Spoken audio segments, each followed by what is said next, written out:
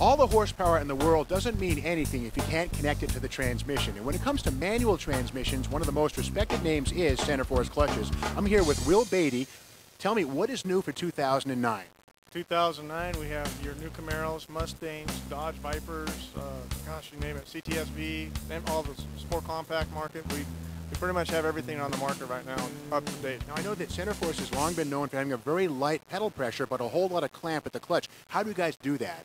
We do that with our patented ball bearing technology. If you can see right here in the clutch itself, what we use is a ball bearing internally and we can change the internal friction of this clutch itself, reducing the internal friction, giving us a lighter pedal so we can change that pivot point and give us a lot of clamp load with a soft pedal. There's also a lot of talk about the weight of the flywheel, the clutch, all this stuff. How important is that to performance?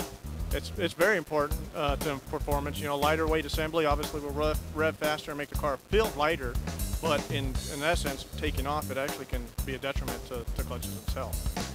Well, we're about to start construction on a late model Mustang, and we're not sure if we're going to be supercharged or naturally aspirated.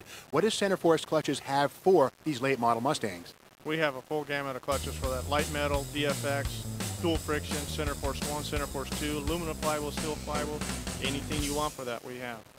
Now, if we supercharge this car, is there a difference in the clutch setup that you'd recommend versus a naturally aspirated engine?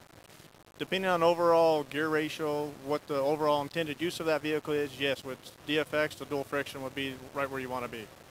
I imagine the dual friction has more surface area that would allow more clamping to get that power transferred.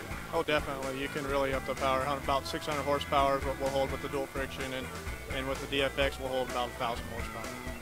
Well, that's awesome. There you have it. Centerforce clutches connecting high-performance engines to manual transmissions for over 25 years.